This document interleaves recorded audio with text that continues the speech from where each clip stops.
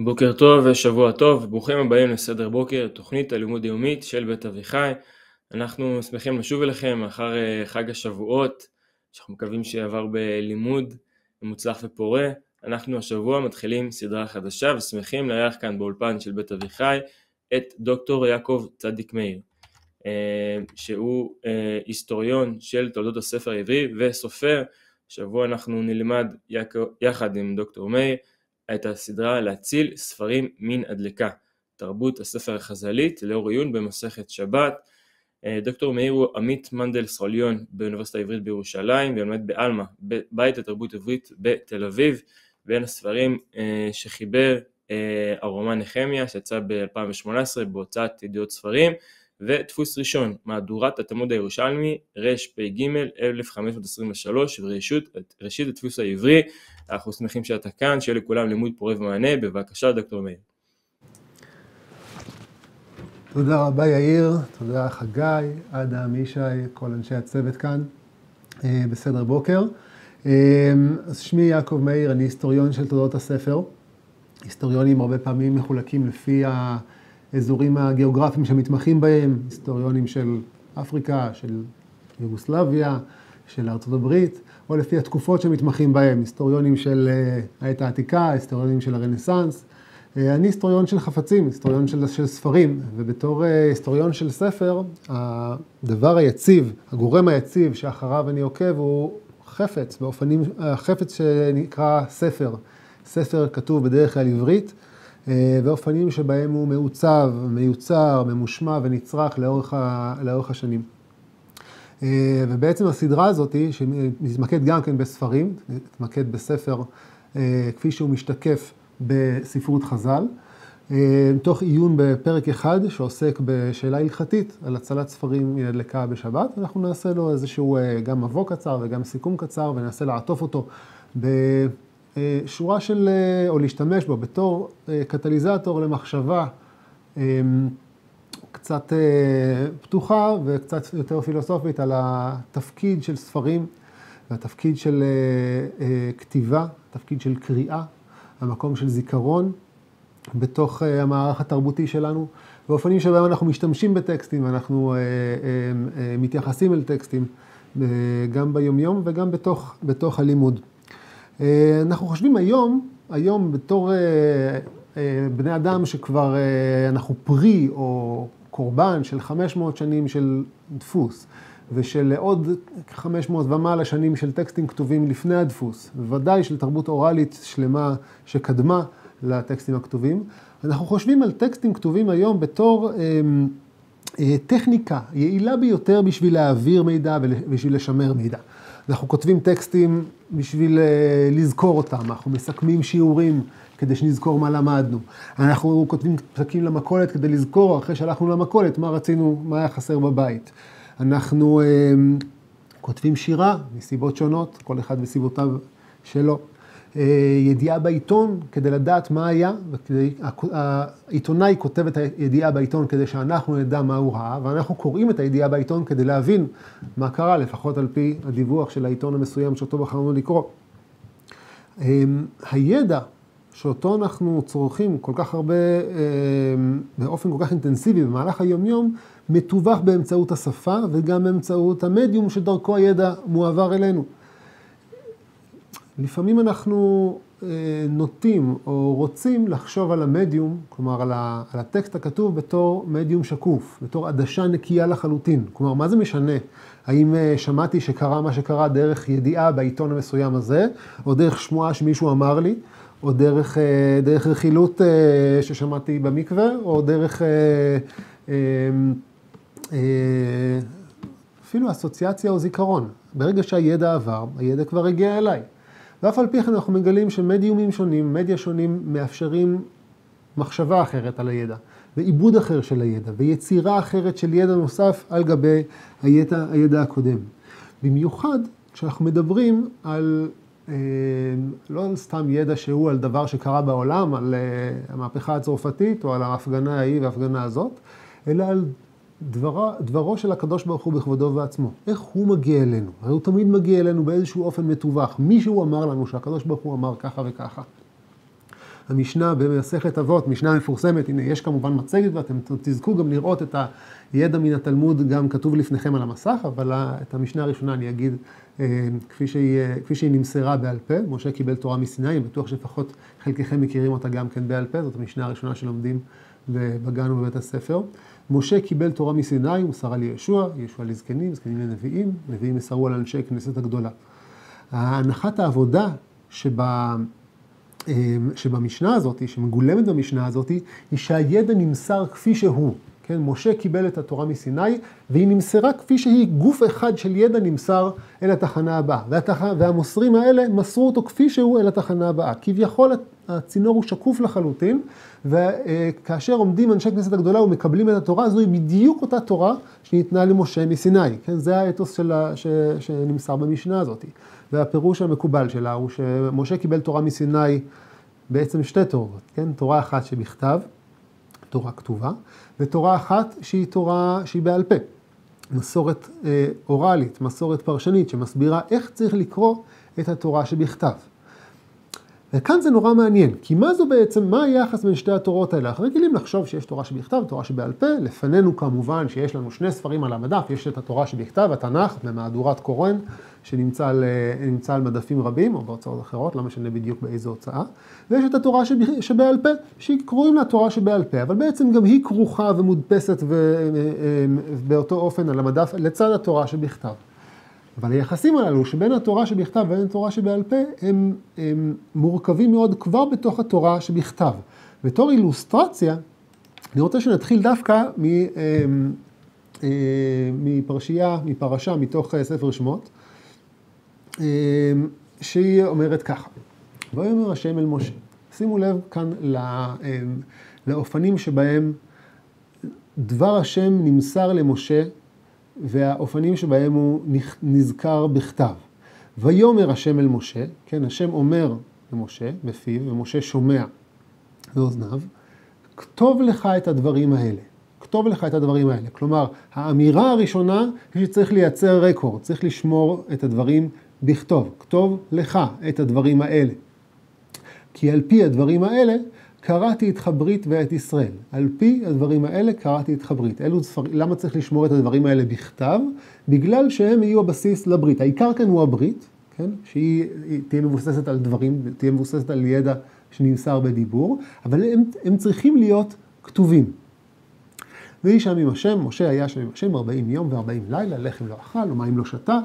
ויכתוב על הלוחות את דברי הברית. כן, הדברים המדוברים נכתבים על הלוחות. כלומר, בעצם הטקסט הכתוב שנוצר הוא טקסט אה, שמתעד התרחשות אלפאית.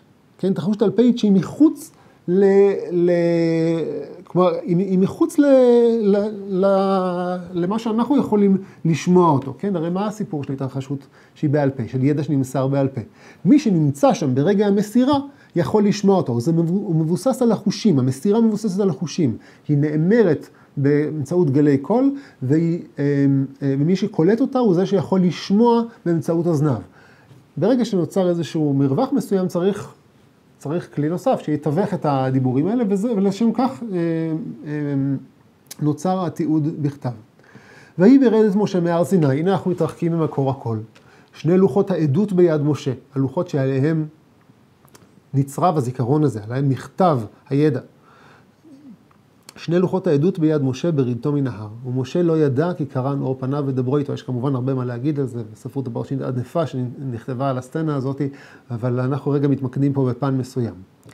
וירא אהרון לכל בני ישראל את משה, והנה קרן אור פניו, ויראו מגשת אליו, ויקרא אליהם משה, וישובו אליו אהרון וכל הנשיאים בעדה, וידבר משה עליהם. ואחרי כן ניגשו כל בני ישראל, ויצווהם את כל אשר דיבר השם איתו בהר סיני. כלומר, הם ניגשים אליו, ואז הוא מצווה אותם את כל מה שדיבר השם איתו בהר סיני. את הדיבור שנמסר לו, הוא מוסר עכשיו אליהם. אז למה היה, למה נועדה הכתיבה? מה הוא עושה שם, מה עושה שם הטקסט הכתוב? מה עושה שם הספר? כן? מה עושה שם, מה עושות שם הלוחות? האם הוא קורא מתוך מה שהוא סיכם למעלה את השיעור ועכשיו הוא מוסר אותו למטה? או שהוא מוסר מן הזיכרון והכתיבה הייתה למטרה אחרת, אולי למטרה ארכיונית, אולי כדי למסור לדורות? יכול להיות שהוא ירד עם הלוחות האלה כדי שיהיה אפשר בכלל לוודא שמה שהוא אומר ומה שנאמר לו זה בדיוק אותו דבר, כן? מין שני מקורות מקבילים. ויכל משה מדבר איתם, הוא מדבר, כן, הכל נמסר. כלומר, בעצם אנחנו רואים שכבר בתוך הפרשייה הזאת יש כאן איזושהי דיאלקטיקה בין המסירה בכתב למסירה בעל פה. מסירה בכתב מוסרת דבר מסוים, מסירה בעל פה מוסרת דבר אחר, ולפעמים הן מקבילות ולפעמים הן גם לא בדיוק מקבילות. כאשר אנחנו מדברים על ה... כשאנחנו עוברים אל, ה... אל המיתוס של מסירת הידע במשנה, משה קיבל תורה מסיני ומסרה ליהושע, פתאום הפעלים האלה שמתערערים בתוך ספר שמע, פתאום הם מקבלים, אה, אה, הם מתמקדים כולם או מתמצקים כולם לתוך פועל אחד. משה קיבל תורה מסיני ומסרה ליהושע, קבלה ומסירה. ופתאום אנחנו כבר לא יודעים איך, ואולי זה לא משנה איך. מה זה משנה? ברגע שאני יודע מה אפשר, אם נעזוב לרגע אחד, לצורך הדוגמה, את דבר השם ונעבור לאיזשהו ידע הרבה יותר פרוזאי, ברגע שאני יודע שצריך לקנות סוכר, מה זה משנה אם אני זוכר שצריך לקנות סוכר, סוכר כי ככה אמרו לי בבית, או שאני קראתי את זה מתוך, מתוך הפתק. ואולי דווקא בגלל שכתבתי את זה על פתק, אז אני זוכר עכשיו בסופר שאני צריך לקרוא סופר, לקנות סוכר, ואני כבר לא צריך לקרוא את זה מתוך הפתק, מתוך הדברים שבכתב. אבל, אבל הסיפור שזה, העובדה שזה כל כך אה, בעצם לא משנה אה, איך הידע מגיע, פתאום מתערער כאשר אנחנו מגיעים לספרות התלמודית גופה. ואני רוצה להתחיל, אנחנו, בסדרה הזאת אנחנו נקרא סוגיה מאוד מאוד מסוימת במסכת שבת, אנחנו, אנחנו נסיים היום עם תחילתה. אני רוצה דווקא בתור מבוא להתחיל מאיזושהי הצהרה אידיאולוגית שהתלמוד אה, מעמיד לפתחנו, דווקא בסוגיה אחרת, בסוגיה ממסכת תמורה. סוגיה ממסכת תמורה מתחילה, אני אתחיל אותה גם כן בעל פה, כי הבאתי כאן רק את חציה השני. מתחילה. אמ, מתחילה מדיון שמתרחש בבית המדרש הבבלי. על פרט מפרטי הקורבנות, מנחת נסכים, האם היא קרבה בלילה, לא קרבה בלילה, לא אטריד אתכם בכל, ה, אמ, בכל אה, פרטי הסוגיה. רב דימי, האמורה, מגיע לארץ ישראל ושומע מי אה, פוגש את רבי ירמיה, המורה הבבלי, שגם כן נעשה, אה, עבר מבבל לארץ ישראל, והוא שומע מפיו ראייה ברורה מן המקרא, שמנחת נסכים קרבה רק ביום. והוא כל כך שמח, הרב דימי, לדעת, לשמוע, לקבל את הידע הזה, שמנחת נסכים קרבה רק ביום. והוא אמר, אם הייתה איגרת בידי, הייתי שולח לרב יוסף בבבל. ואז רב יוסף היה מאוד שמח לשמוע את, ה, את הראייה הזאת. אז קופץ התלמוד ואומר ככה. והיא הווה לאיגרתא, ואם הייתה לו איגרת, מי אפשר למשלך? האם יכול היה לשלוח אותה? מה זאת אומרת? הרי הפן הדוקומנטרי של הספרות התלמודית, שמאפשר בעצם, מאפשר לנו כביכול כמעט לשמוע את התנאים, את האמוראים כאשר הם מדברים, הוא מאפשר גם פתאום להיתפס על כל מיני ביטויים שהם אומרים כבדרך אגב, ולהגיד, רגע, זה בכלל עומד לפי הסטנדרט שאנחנו מכירים או לא עובד לפי הסטנדרט שאנחנו מכירים? איך הוא היה יכול להגיד, תחשבו על האינטואיציה הזאת, שרב דימי אומר, אם הייתה לי איגרת הייתי שולח. אבל מי בכלל אומר שאפשר, שאפשר לשלוח איגרת? מי אומר בכלל שמותר לכתוב? והרי, אמר רבי אבא, ברדי רבי חייא בר אבא, אמר רבי יוחנן, כלומר, רבי יוחנן, המורה הגדול מטבריה, אמר, ורבי אבא בנו של רבי חייא בר אבא שמע את זה ומסר בשמו, שכותבי הלכות כשורפי תורה, והלמד מהן אינו, אינו נוטל שכר. כותבי הלכות כשורפי תורה, והלמד מהן אינו נוטל שכר. וזה ביטוי מאוד מאוד אה, רדיקלי שצריך לפר, לפרק אותו לאט לאט. קודם כל, אה, תשמעו, התורה היא תורה שבכתב כפי שכבר ראינו, כן? והתורה שבעל פה נמסרה בעל פה ועומדת בעל פה. עכשיו, אנחנו היום כבר אמרנו, אנחנו רוצים ללמוד תורה שבעל פה, אנחנו מוצאים מהמדף כרך של משנה או כרך של גמרא וקוראים אותו מתוך הכתוב. האם אנחנו שורפי תורה? כלומר, יש פה משהו, יש פה איזה רגע, אתה אומר, אה, בסדר, אני מבין שבשלב מסוים זה היה מאוד חשוב להפריד ביניהם. תורה שבכתב, תורה שבכתב, ולמה בשלב מסוים החליטו להתחיל למסור את התורה בעל פה, זאת שאלה גדולה, והיא לא הנושא שעליו אנחנו מדברים עכשיו. אנחנו שואלים עכשיו על המשמעות של הספר. ברגע שכבר יש ספר, כן? מי שכותב את, בסך הכל הוא רצה להעביר את השמועה הזאת מבבל, מארץ ישראל לבבל. ופתאום אומרים שמי שכותב את ההלכות הוא שורף תורה? הרי, הרי מה זה הדימוי הזה של שריפת תורה? זה דימוי נורא נורא חזק ונורא נורא עוצמתי. בטח, בטח כיום, כן, במאה ה-21, אחרי שאנחנו עומדים מאחורי שריפות ספרים גדולות. בגרמניה ובאיטליה ובצרפת, ואנחנו יודעים ששריפת ספרים היא חלק, היא רגע מאוד דרמטי בפוליטיקה של הידע. זה רגע שבו אומר השלטון, אמ, אני אדבר יותר לאט, תודה על ההערה, שבו אומר השלטון, את הידע הזה אסור לקרוא. הידע הזה אסור לצרוך אותו. זה ידע שלא צריך לעבור מידו של הכותב אל ידו של הקורא. האם אפשר שהשריפה הזאת היא הדימוי שבו משתמש רבי יוחנן כדי להגיד מה קורה למי שכותב את ההלכות? הרי בסך הכל שינינו פה מדיום. במקום להעביר את הידע בעל פה, העברנו אותו בכתב. הרי אין שום אפשרות שרב דימי יצליח לשלוח את הידע בעל פה מארץ ישראל לבבל. הוא בסך הכל רצה לכתוב מכתב. הוא אפילו לא רצה לטעון שהאיגרת הזאת היא איזשהו ספר תורה חדש או משהו כזה. הוא רק רצה להעביר ידע. אבל כותבי הלכות כשורפי תורה. כאילו עצם העברת הידע ממדיום על פה למדיום כתב כדי לשלוח אותו, היא משולה להשמדתו. והרי המטרה היא לצרוך את הידע, להעביר את הידע, לשמר את הידע. מה פתאום אנחנו קוראים לזה ומכנים את זה שריפת תורה? ועוד, אם נוסיף לזה גם את החלק השני של הממרה, והלמד מהן אינו נוטל שכר. אתם יודעים שאצל חז"ל הרבה מאוד מההתנהגויות ומהמצוות שנמצאות במקרא וגם אה, שנמצאות בשלבים בין המקרא לבין התלמוד, עוברות איזושהי רדוקציה לשאלות, של, אה, לשאלות כלכליות או לשפה כלכלית, לשכר ועונש, כפי שקידושין, שנישואים הופכים עוברים רדוקציה לשאלות של, של, של שכר ושל של, לשאלות כלכליות, כך גם לימוד תורה וקיום מצוות בכלל עובר רדוקציה מאוד מאוד רדיקלית לשאלות של, לשפה כלכלית. אני לומד תורה על מנת לקבל שכר.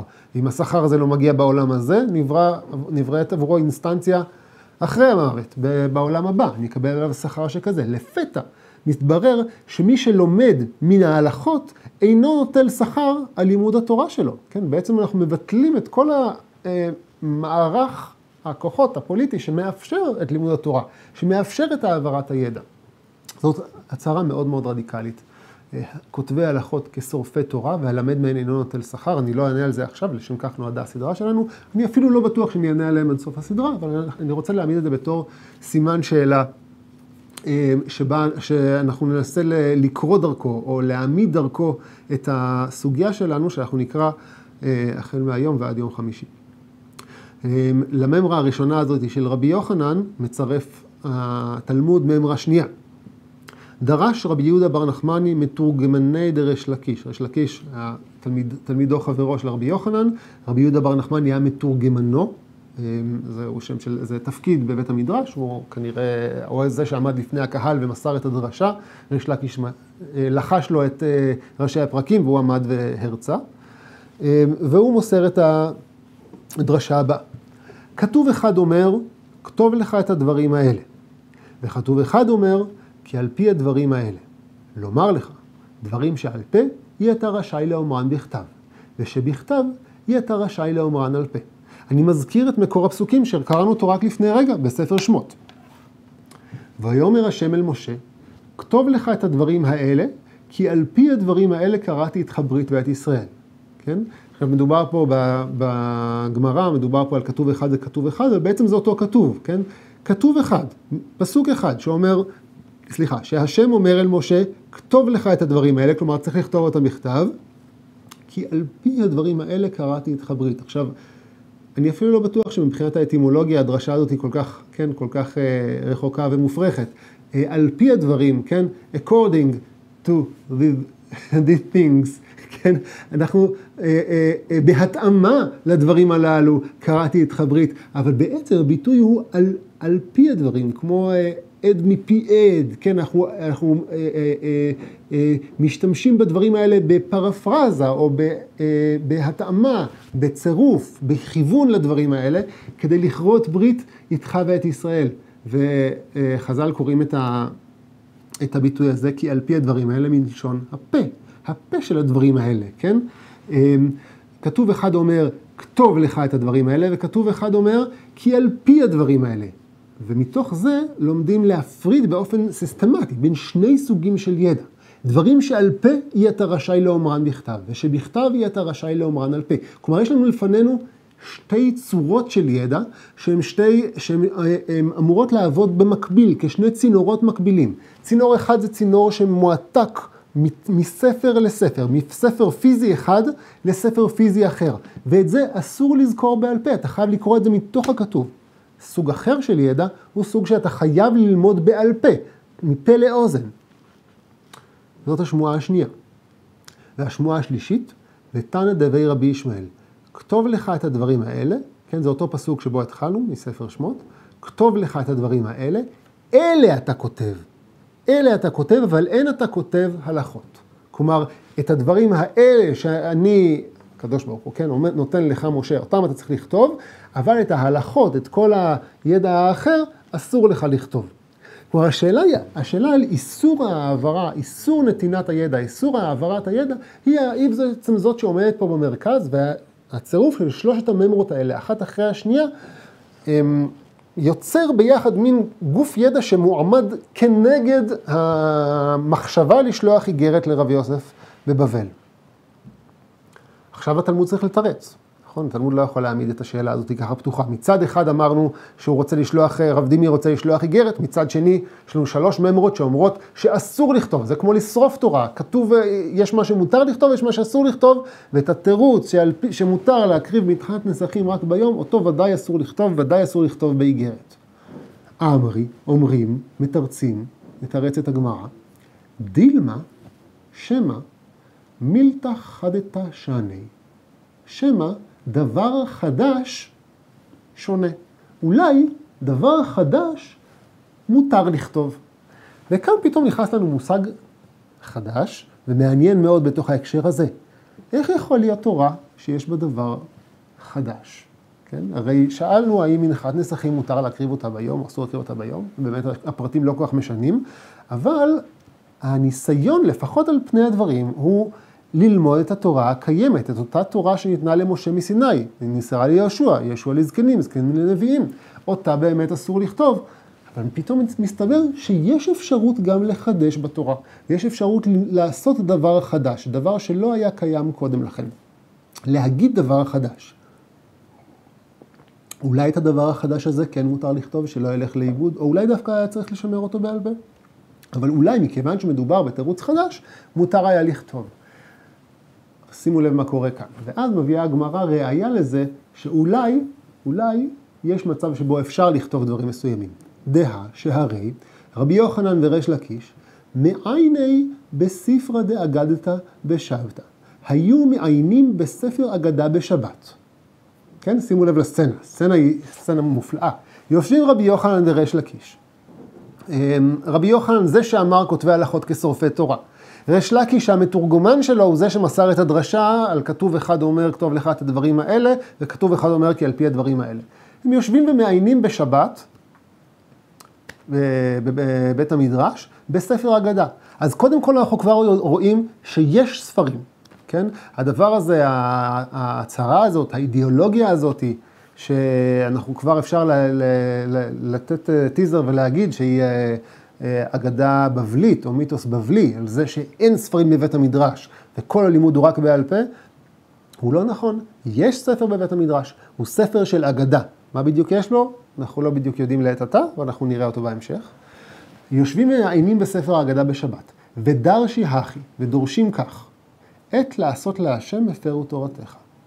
עת לעשות להשם הפרו תורתך. כלומר, יש זמן שבו מותר להפר את התורה, להפר את הציווי. כביכול, כן, תחשבו איך זה עומד, איך, איך הפסוק הזה עומד מול כותבי הלכות כשורפי תורה.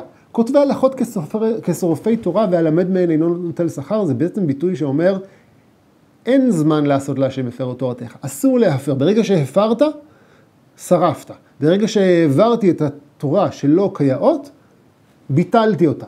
זה בעצם נראה כמעט כמו איזושהי התנגדות לודיטית כזאת, לטכניקה של העברת אה, טקסטים בכתב. אבל כאן, עת לעשות להשם הפרו תורתך. אמרי, אומרים, מוטב תעקר תורה ואל תשתכח תורה מישראל. כלומר, יכול להיות שאנחנו צריכים דווקא לזכור, כן, דווקא לכתוב כדי לא לשכוח, ואז כביכול לשרוף כדי לזכור, כביכול אפילו לא לטול שכר כדי לאפשר את הלימוד.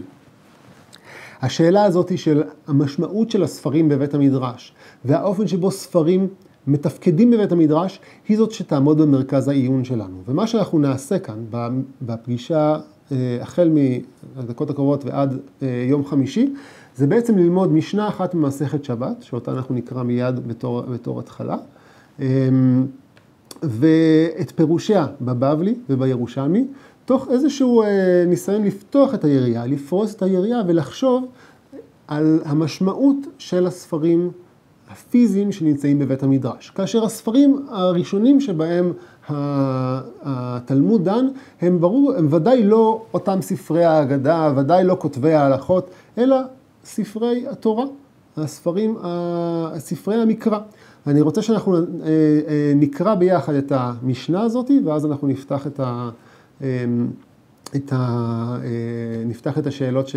שעלו, שלא עלו, ומחר אנחנו ניכנס אל פירושי התלמודים למשנה הזאת. המשנה הזאת אומרת כך: כל כתבי הקודש מצילין אותם מפני הדלקה. כל כתבי הקודש מצילין אותם מפני הדלקה. המשנה היא משנה מסכת שבת, בפרק ט"ז, והשאלה היא, האם, מה אני עושה כאשר נפלה דלקה בבית? אין עירוב בחוץ, אסור לטלטל מרשות היחיד לרשות הרבים, ובכל זאת יש היתר מסוים להוציא את כתבי הקודש, להציל אותם מפני הדלקה. שימו לב לביטוי הזה, כתבי הקודש, כתבים שהם קודש, שכבר מהם אפשר להבין שישנם גם כתבים שאינם קודש. והאם מותר לי להציל אותם, או שאסור לי להציל אותם. ומה, והאיום הזה של הדלקה, הרי קודם אמרנו שכותבי הלכות כשורפי תורה. האם יכול להיות שיש ספרים שראויים להישרף, שראויים להידלק, למול הספרים האחרים שאינם ראויים להישרף? התמיהה עוד גדלה ומתעצמת כאשר אנחנו רואים את, ה, את הפסוקית הבאה. כל כתבי הקודש מצילין אותם מפני הדלקה, בין שקוראים בהם ובין שאינם קוראים בהם.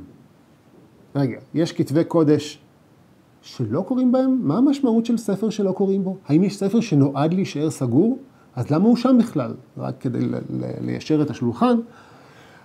ועוד, המשנה כבר משתמשת בהתחלה הזאת כדי לדבר על ספרים בכלל, אף על פי כתובים בכל לשון, או אף על פי שכתובים בכל לשון, בניסוח מקביל, טעונים גניזה.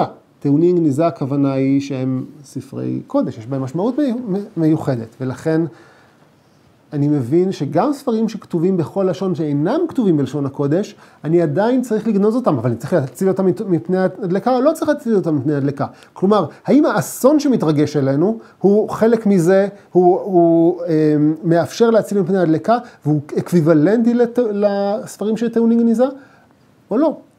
והתמיהה מתפ... אה, מתגברת באופן, ה... בפעם השלישית, בפעמה השלישית, עם הסיום של המשנה. מפני מה הם קוראים בהם? שאלנו קודם, מה זה ספרים שלא קוראים בהם? מפני ביטול בית המדרש. אנחנו היום רגילים לבתי מדרש שמלאים ספרים, שמוקפים ספרים מסביב. מה עושים בבית מדרש חוץ מאשר לקרוא ספרים? והנה אנחנו רואים שאסור לקרוא בספרים מסוימים מפני ביטול בית המדרש. כלומר, מה שעושים בבית המדרש איננו תלוי בספרים. את השאלות האלה, מה עושים בבית המדרש, מה תפקיד הספרים, אנחנו נפתח החל ממחר, אמ, ועכשיו נפתח את הרצפה לשאלות. אה, שואל השואל הראשון, האם יש לקחת את האמירות של בעלי הממרות כפשוטן, כלומר באופן הכי מילולי ומיידי? אה, זה מה שאני מנסה לעשות, זה מה שאנחנו מציע, מציע כאן לעשות, כלומר, אני מניח שאם היה, בעל הממרה היה רוצה להגיד משהו שאיננו מילולי ומיידי, הוא היה אומר אותם קצת אחרת. כלומר, מעט האמון שאני יכול לתת בו, זה שמה שהוא אמר הוא התכוון לו. כלומר, אתה שואל האם כותבי הלכות כשורפי תורה, ודאי שזה דימוי, כן? כותבי הלכות כשורפי תורה. אבל דימויים זה דבר שצריך לקחת מאוד ברצינות, אחרת לא היו משתמשים בהם. יש מאמר חז"לי שמשה כתב את ספרו בפרשת בלעם, מכאן שלפחות מבחינת חז"ל אין תמימות דעים בנושאים אלה. כיצד ניתן להכריע בשאלת דעתם של חכמים על כתיבת התורה? אמ, המאמר החז"לי מצוטט שעוסק בשאלה מי כתב את ספרי המקרא השונים ומה הגבולות. האם יכול להיות שמשה רבנו כתב את, אה, את, כל, את כל ספרי התורה, והרי גם אנחנו רואים, יודעים שהתורה מדווחת גם על מותו של משה ועל קבורתו של משה, גם זה יכול להיות שמשה כתב. עוד שאלה גדולה, סוגיה יפה מאוד במסכת בבא בתרא, בסדרה הבאה בעזרת השם נוכל לעסוק גם בה. וכאן אנחנו עוסקים בשאלה, מה עושים בטקסט כאשר הוא כבר כתוב, כן? האם מותר להעביר אותו בעל פה, האם מותר לקרוא אותו בעל פה, מתי מותר לי לכתוב תורה בעצמי, האם יכול להיות שאני אגיד דבר חדש, או שאני אקבל דבר חדש והוא יהיה מותר בכתיבה, ומתי ספר נחשב ספר שמותר לקרוא בו, או ספר שאסור לקרוא בו. זאת שאלה קצת שונה, היא מאוד מאוד ספציפית, מאוד מאוד מסוימת, ואני חושב שדווקא הספציפית הזאת תאפשר לנו להגיע למסקנות יפות ופוריות ולהמשך מחשבה על הסוגיה. זהו, אני חושב, אלה השאלות שלפנינו. נתראה מחר. בהצלחה.